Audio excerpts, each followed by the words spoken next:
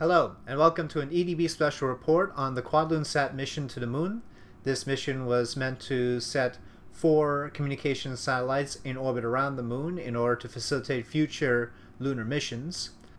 The mission was launched in the early morning of Thursday, January 15th, and two hours and 11 minutes after it reached orbit, it began its translunar injection burn using the Estes engine. You can see a simulated view here of the four satellites attached to the quadcoupler and attached to their lunar transfer stage, the Estes engine there, uh, lighting over western Africa and on into the Indian Ocean past Madagascar. And so we see it here, engine lit, in the simulated view. You'll note the numerous antennae that are open.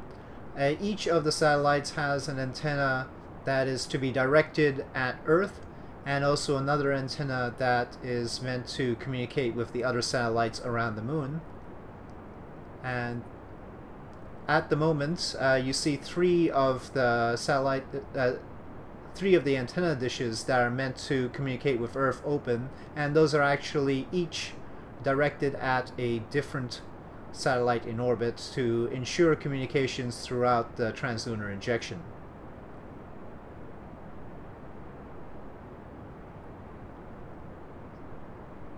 Here we see the craft uh, bridging the strait between Africa and Madagascar.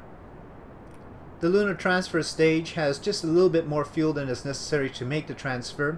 What will happen is after it makes the transfer and gets the craft into lunar SOI, two of the satellites, each of the satellites has 1000 meters per second worth of delta V, as uh, we see here the SS engine is going to complete its burn.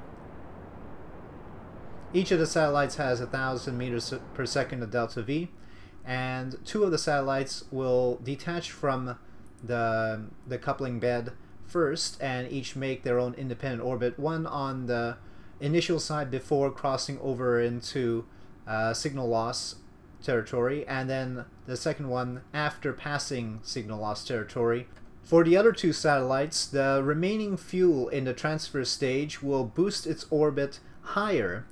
And so initially it'll be at 2,000 kilometers, and then it will boost higher to around 6,000 kilometers, and then separate those two.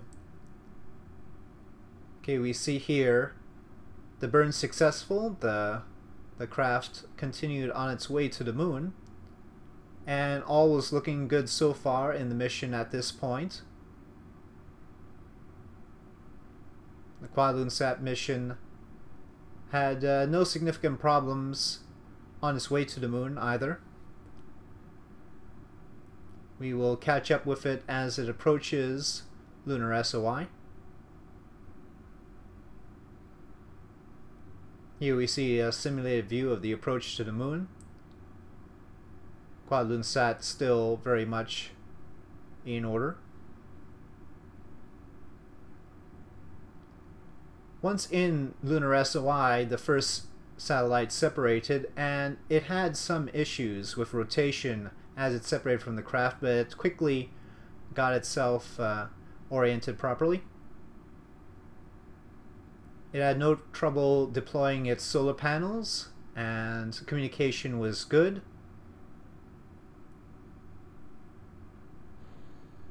The second satellite was also deployed as planned. Again, uh, no problem with uh, communications. And eventually it too would uh, deploy its solar panels. And up to this point, the mission looked to be going well. So these two satellites uh, both aim to have a periapsis of 2,000 kilometers on the far side of the moon from the Earth, and then have an apoapsis higher than that, approximately 6,000 to 7,000 kilometers on the side closer to the Earth. With that done, the transfer stage attempted to make its boost to a higher orbit to release the next few satellites, but ended up having an imbalance because it had the satellites on the same side. And uh, it took a little bit of time to get it proper. It only had a little bit of fuel left and so was not able to run the RCS ports in order to right itself. It only needed to make a tiny little burst in order to complete its duty. However, with that done, Mission Control lost communication with the first two satellites that were released. The EDB doesn't know what happened exactly, but high-power telescopes show not satellites, but pure cylinders of some sort. And it's not entirely clear what happened to the satellites that were supposed to be in those locations, but uh, clearly something has occurred that wiped out their communication ability and power. The remaining two satellites were released as planned, but now the situation was quite grim and uncertain. The third satellite and fourth satellite both were able to uh, remain in communication and deploy their solar panels. There was no way to just leave the satellites on the transfer stage, of course, because it would simply be flung into interplanetary space. Uh, they would not be able to get into orbit around the moon without activating their own engines and using their own fuel. So they had to be separated from the transfer stage. And unfortunately, soon after that, both the third satellite and fourth satellite also suffered the same fate as the first two. And so at this point, the QuadLunSat mission is uh, ruled a failure, and with no uh, clear indication of what the cause of this was, the Kerbals uh, who work in the EDB are are tossing around the word Kraken, of course, and uh, they are shades of the Hyperion shuttle mystery, which also still has not been resolved. It's unclear what uh, this means for the EDB going forward, uh, but for now, uh, it is simply a tragedy, and we will have to see. With that, uh, thank you for watching this coverage of the Quantum Sat mission, and this is the EDB signing off.